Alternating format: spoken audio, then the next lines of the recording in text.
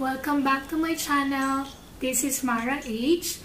Ngayon, pag-uusapan natin yung No to PM Send.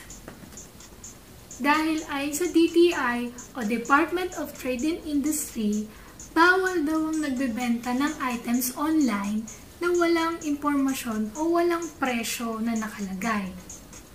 Sa Kagaya na lamang nito, mag-type tayo sa Facebook ng alcohol dispenser. Tapos makikita natin dyan, maraming free na nakalagay o kung hindi man eh piso o ano pa, ano pa yung nakalagay? Piso, free, tapos hindi nila nilalagay kung ano ba talaga ang totoong presyo at nakasaad sa ating saligang batas RA 7394 o Consumer Act of the Philippines, unlawful daw ang pagbebenta ng mga produkto na walang karampatang price tag or label or any marking ng presyo ng produkto or items na binibenta natin. Halos pangkaraniwan na ang hindi naglalagay ng mga presyo sa online seller, lalong-lalo na sa Facebook.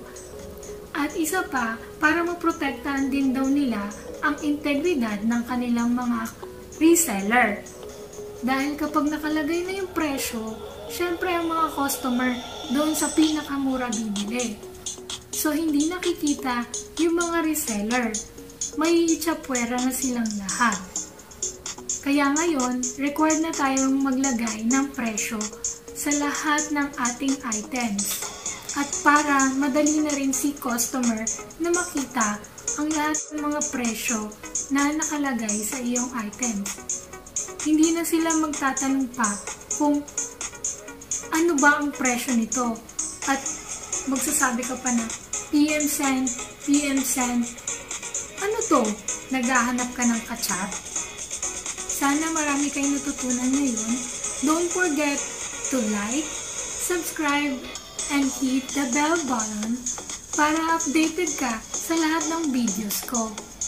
Bye!